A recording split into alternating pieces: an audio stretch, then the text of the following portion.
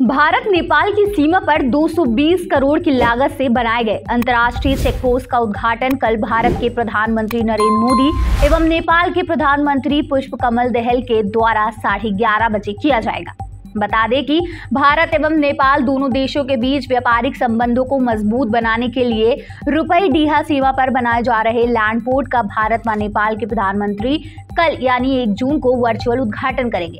ये उत्तर प्रदेश का प्रथम लैंड पोर्ट है। इसका निर्माण land port authority of India ने कराया है। इसका निर्माण पर करीब 200 करोड़ का खर्च आया है। भारत व नेपाल दोनों तरफ़ इस चेकपोस्ट का निर्माण भारत ने कराया इसी कार्यक्रम में महाराजगंज ज़िले के प्रस्तावित सोनौली भैरावा लैंड पोर्ट का शिलान्यास भी होगा। वहीं आपको बता दें कि land port authority of India के सलाहकार एपी सिंह ने बताया कि आज नेपाली प्रधानमंत्री पुष्प कमल दहल नई दिल्ली पहुँच गए हैं। एक जून को दोपहर लगभग साढ़े ग्यारह बजे भारत के प्रधानमंत्री नरेंद्र मोदी व नेपाल के प्रधानमंत्री Rupaidiha Nepalganj land port का वर्चुअल उद्घाटन करेंगे।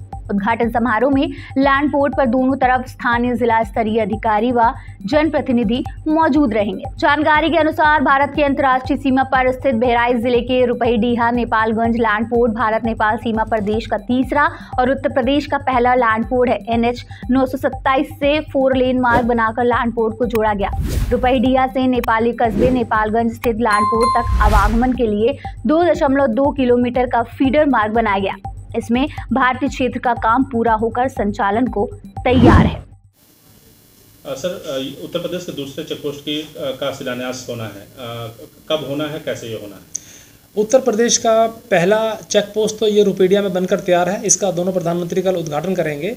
उत्तर प्रदेश का ही दूसरा चेक पोस्ट जो है सोनोली में डिस्ट्रिक्ट महाराजगंज जो कि गोरखपुर बॉर्डर के पास में है। वहाँ पर उसका पूरा का पूरा भूमि का जो 115 एकड़ है, वो एक्वायर कर ली गई है।